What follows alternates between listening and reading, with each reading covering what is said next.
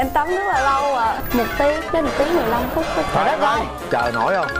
Em đi chỗ khác em tắm. Em thích bạn nam mà bụng bự. Mong bạn nam cũng bự.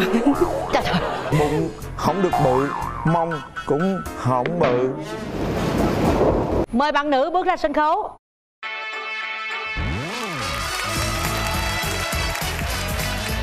Mời bạn nam. Rồi mời em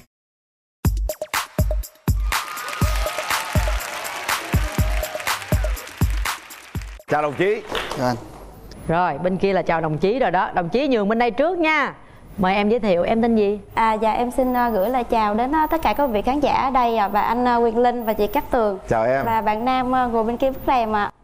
À, và em xin tự giới thiệu em tên là Hoàng Thị Kỳ Duyên. Quê gốc em thì ở Quảng Trị. Em uh, sinh uh, ra và lớn lên thì ở Đồng Nai hiện tại thì em đang công tác tại Suối Tiên. Duyên năm nay bao nhiêu tuổi? Dạ em uh, sinh năm 94 ạ. Em làm công tác gì ở Suối Tiên? À, hiện tại thì em đang làm bên uh, phòng sale marketing và công việc đó là bộ phận uh, điều hành du lịch ạ. Wow, điều hành du lịch. Mốt đi vô Suối Tiên khỏi tốn bé nha. Chào anh Quyền Linh, chào chị Cát Tường Chào bạn nữ xinh đẹp và toàn thể quý vị khán giả. Tôi xin tự giới thiệu, tôi tên là Hoàng Văn Phúc, năm nay 25 tuổi Hiện đang công tác tại Trung đoàn 3, sư đoàn 9, quân đoàn 4, Xuân Tâm, Xuân Lộc, Đồng Nai Em, à, em mang lon như thế là hai sao một gạch trung quý đúng không? Dạ Quê Trung mình quý. ở đâu? Dạ quê em ở Đồng Nai chị ơi Vậy là hai người sát bên luôn thuận lợi quá ha Cụ thể công việc hiện nay em làm trong quân đội Hiện là gì? tại bây giờ em đang làm trong quân đội là ngành à, nhân viên bản đồ Là coi bản đồ hay sao? Giữa giữa năm và cuối năm thì mình sẽ chấp ghép các bản đồ và vẽ lên đấy các hình thức chiến đấu như đấy À, tức là À. vạch ra kế hoạch chiến đấu trên bản đồ đúng không? Dạ. Vậy thì bản đồ Đồng Nai em rành không? Dạ thì cả nước luôn Vậy là tìm nhà bằng kia hơi dễ đúng không? Bữa nay về em em em chấm cái tọa độ em vẽ cái tọa độ Suối Tiên rõ rõ lên giùm chị nha. Dạ Rồi, Duyên em giới thiệu một xíu về bản thân mình, điểm mạnh, điểm yếu của em là gì? Dạ điểm mạnh của em là em rất là thích nấu ăn và thích uh, uh, dọn dẹp nhà cửa rồi nhưng mà em có một cái uh, nhược điểm rất là khá nặng đó là em hay hầu đậu và em chạy xe thì cũng hay bị té đó cho nên em cũng lên chương trình để tìm tài xế Lái xe được không? Dạ em lái mấy bánh được ạ Mấy bánh cũng được luôn đúng Dạ không? Quân đội mà lái xe chắc chắc lắm Hay là mình có ờ, cái tật xấu gì không? dạ em có một cái tật xấu đó là em tắm rất là lâu ạ Tắm lâu hả? lâu là bao lâu dạ khoảng uh, một tiếng đến một tiếng 15 phút Trời đất ơi! Con gái thì ờ, thường ờ, gội đầu ủ tóc rồi sữa tắm nữa. Mà em tắm là từng cái có nghĩa là em gội đầu xong đợi ờ, khoảng 15 phút cho dầu gội thấm vào da đầu sau đó em xả nước xong rồi em ủ đợi thêm khoảng 15 phút nữa. Nghĩa là từng cái từng cái cho em có làm. Thôi mấy cái kia khỏi kể nha Nhưng mà nhưng mà rồi, rồi, rồi, rồi cái lúc mà em ngồi trong đó rồi em đợi là em làm gì? Làm gì hỏi người ta, làm gì kệ người ta Là mình bắt ghế vô buồng tắm ngồi luôn hả em hay sao dạ, em? có ở trong phòng tắm em nó có cái ghế chị là À. cái ngồi trọng Nhiều người ta ngủ trong bồn tắm luôn á có khi thì em đem cái điện thoại vô em coi chương trình bạn muốn hẹn hò trong phòng Wow. Trời ơi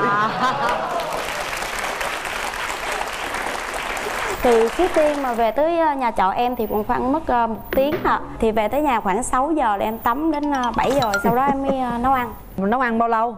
dạ em nấu ăn rất là nhanh chị. À, khoảng nửa quá. tiếng là xong. Tắm thì tiếng chứ nấu ăn có nửa tiếng thôi vậy cũng được. Bây giờ mình phải tranh thủ ăn nhanh nhanh lên nha. Xong ăn uống xong cái 8 giờ rồi đi chơi. Tới mấy giờ về?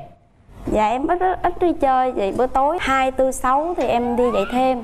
Còn ờ, những ngày bình thường thì em ờ, tới trung tâm em dạy làm bánh Ồ, em đi dạy thêm cái gì? Hai thứ dạ sáu em dạy thêm môn hóa ạ Lớp mấy?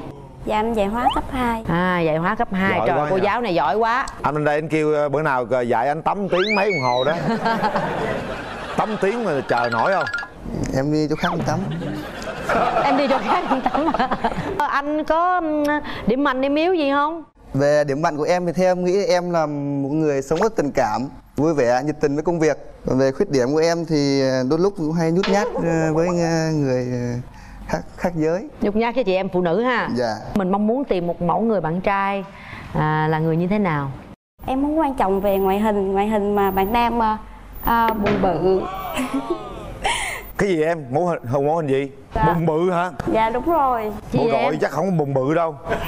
Có người ngồi kế vào rồi bụng bự thôi. Dạ em thích xoa bụng bạn nam đó chị. Da bạn nam thì ờ, ngâm tại da em cũng ngâm mà ba bạn trắng thì ờ, ra đường nhìn nó khó coi lắm chị. Rồi em thích thêm một cái nữa là mong bạn nam cũng bự bự. Trời ơi, bên kia làm sao? Thích bụng bự mông bự. Bạn bên đây bụng không được bự mông cũng không bự. Còn gì nữa không? Vớt vát lại coi coi. Trời ơi sao em tả cái gì mà nó không ấy tả khuôn mặt đẹp vậy mặt trai mũi mắt mũi miệng chiều cao cân nặng. Ừ. Dạ bạn nam thì hơn em một cái đầu để nghĩ bóng và nghĩ đen á chị. Ừ. dạ gương mặt thì ờ, nhìn hiền nhân từ là được. Em không có cần ờ, bạn nam phải quá đẹp trai ạ. Rồi. Dạ. Còn à, tính cách của bạn nam thì à, phải điềm đạm, hiền với vợ con nhưng mà ra đường á thì phải có tiếng nói.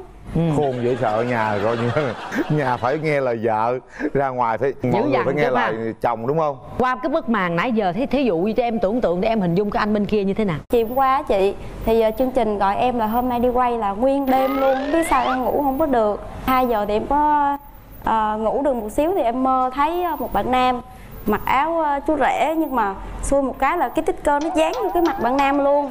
Nhưng mà em thấy được là cái đầu bạn nam cũng hói nên cũng thích. hả? Là thích hói nữa hả? Dạ đúng rồi chị.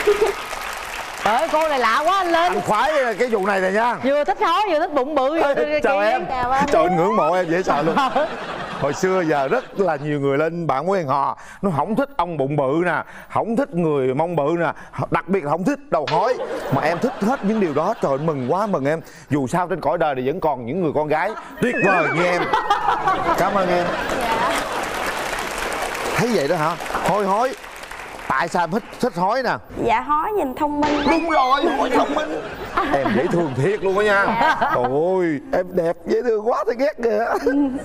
Anh bên đây cũng có hơi hói hói. Rồi hay quá anh kết rồi đó. Đàn trai chịu luôn rồi đó. Chịu luôn rồi hả? Nhưng mà Được giờ đẹp. đàn trai ờ, có yêu cầu đặt ra tìm bạn gái như thế nào nè? À, cao mét à, trên mét năm tư là được. Ngon. Dạ bao luôn gì nữa? Tóc dài tóc ngắn cũng được ạ. Có tóc là được đúng không? Dạ có tóc là được. Tính tình thì cũng à, hiền lành à, thật thà. Lễ phép với người lớn. Cô bên kia thật thà lắm em nghĩ sao nói vậy thôi. Em có cái mẫu hình lý tưởng nào không? Giống chị Cát Tường là được ạ. Bạn hồi bên đó đây á. giờ lên chương trình bạn muốn hẹn hò mẫu người lý tưởng là toàn lấy anh quyền linh ra không à? Đi qua coi anh này coi. À. Trời ơi mắc cái mới gì mà em em nói giống chị trời ơi chị thấy gớm dạ. Chị sắc sảo lắm. Chị dễ thương đẹp gái mà. ai cũng nói chị hung dữ hết trơn á. Giữ em mới chịu. Ồ vậy hả? Dạ. Trời ơi đẹp trai quá hả? Hai cặp này đẹp đẹp đôi dễ sợ luôn. Có cái điểm gì em không thích ở người bạn gái không? Xăm mình mà xăm nhiều quá. Ừ. Tôi chưa hỏi mà tôi nhìn là tôi biết không có xăm. Dạ. Yên tâm. Được đó cặp này được chị gả luôn nha. Cố gắng lên nha. À. được cặp này hợp lý bây giờ em nay em có đi với người thân không Hiện tại thì có hai người bạn cùng làm chung số tiên với em luôn à ồ vậy hả Dạ, em chào à, cả nhà, chào chị Cát Tường và chào anh Quyền Linh. Ừ, Mình thấy à, cái anh bên đây rất là thân thiện và dễ thương. Nói chung là hợp với mỗi người của Duyên á. Duyên có cái sở thích là hơi bị quái dị một tí, là khác với thêm à, của mình rất là nhiều. Là bụng bự á thì cũng dễ về nuôi ăn bụng bự. Đúng Còn rồi. mông to phải không? Rủ đi tập gym. Còn muốn mà hói á kêu anh cạo. Cạo cũng hay cô bạn cũng dễ thương nữa. Nói chung là thấy là rất là dễ thương á duyên mình hy vọng là hai người có thể là tiến xa hơn sau buổi quay hình ngày hôm nay. Sao bữa nay toàn những người dễ thương không vậy ta? Bạn trai à, ai sẽ đại diện cho đồng chí trung quý này đây? Chào anh Quỳnh Linh, xin chào bạn đồng liên Cát Tường. Dạ chào anh. Chào ờ, Âm Duyên, chào tất cả khán phòng Và đặc biệt là hai bạn của Âm Duyên. Muốn nói với lại bạn Duyên trước. Bạn không biết đi, đi xe thì yên tâm. Đấy. Phúc nó đi xe thứ nhất là cũng cứng. Cái thứ hai nữa là vì cái đặc thù công việc Nó cần cái tính cụ thể và tỉ mỉ Nên ờ, không lo bị té. Không cái thứ hai nữa là về trình độ năng lực phẩm chất đạo đức sức khỏe. Thì đối với mỗi một người quân nhân nói chung ấy và sĩ quan nói riêng ấy, thì đều bảo đảm. Cái vấn đề thứ ba nữa đối với phúc ấy nói cho duyên thì duyên biết luôn vì đặc thù đơn vị huấn luyện sẵn sàng chiến đấu nên ờ, không có phụ nữ không có con gái ở trong đơn vị. 100% là nam 21 giờ là không được ra ngoài. Người ra yên tâm về cái vấn đề đó là rất bảo đảm an toàn. Còn à, anh à, muốn nói với phúc thì cô bé bên này nếu mà anh ấy anh bấm nút ngay vào luôn. Phải quyết thắng. Đúng như truyền thống của đơn vị ấy đã ra quân là phải chiến thắng hay quá. Đó bạn bây giờ cái thời khắc quan trọng là hai bạn cảm nhận nhau như thế nào khi mà cái màn kéo lên? Chàng trung úy tên phúc và cô giáo tên duyên.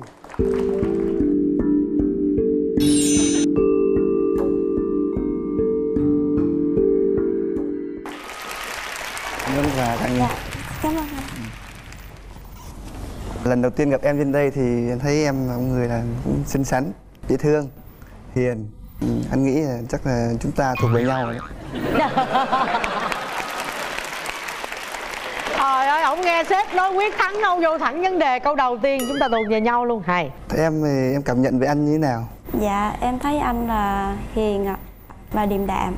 Đặc thù công việc của anh ấy, thì cũng ít khi được ra ngoài chỉ nên là có thể là có bạn gái thì đơn vị chắc chắn sẽ tạo điều kiện là được mà thứ bảy nhật nghỉ để ờ, đi chơi với bạn gái không biết là em có ngại về cái vấn đề các ngày mà đi làm từ thứ hai đến thứ sáu thì không gặp nhau thì em thấy như thế nào? À, thì ngày xưa lúc còn à, chưa có suy nghĩ chín chắn thì à, em phải bắt bạn nam em là một tuần phải đến thăm em ba lần đến bốn lần. Nhưng mà sau này thì em suy nghĩ thì thì em cảm thấy rằng à, mình gặp nhiều hay không là do bản trái tim mình luôn hướng về nhau và mỗi lần gặp nhau thì phải à, chất lượng. Anh lúc nào cũng chất lượng. Trời ơi hẹn hò thế nào? Đừng nói đưa vô suối tiên coi thú đâu nha. Chắc vậy rồi nói hợp lý theo rồi. thì hẹn hò mình nên đi những nơi nào? À dạ đi đâu mà có người bình thường thì đi đâu mình cũng thích ạ. Vậy là anh đưa đi đâu cũng được phải không em? Dạ không đi những nơi mà rồi con cái sao? Tương lai của em thì chắc chắn là sẽ hai đứa. Chắc chắn là sẽ một trai một gái. Trời đất ơi ông rồi rủi không được con trai con gái thì sao? Em cảm nhận là em sẽ có một trai một gái à cảm nhận. Dạ. Anh hồi xưa cũng cảm nhận vậy đó em.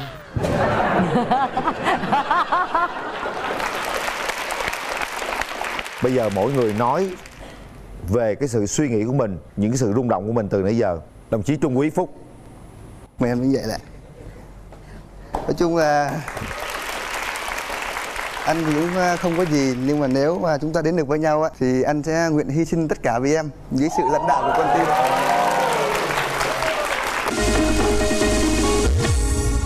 hãy suy nghĩ thật kỹ. Lắng Suy nghĩ thật nghe kỹ nha. nhịp đập của trái tim mình. Ở đây không ai ép buộc chúng ta cả. Ba. Hai. Ba. Hết thời gian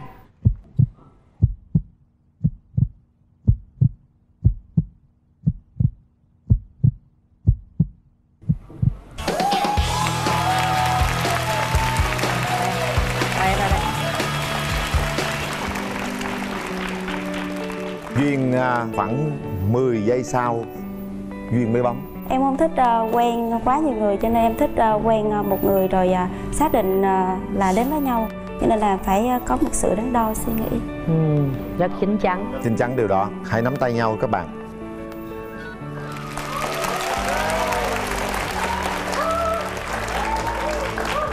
Chúng tôi sẽ gửi tặng các bạn những chiếc vé xem phim của hệ thống cùng rạp Cinebox 212 để chiến thắng. Chúc hạnh phúc.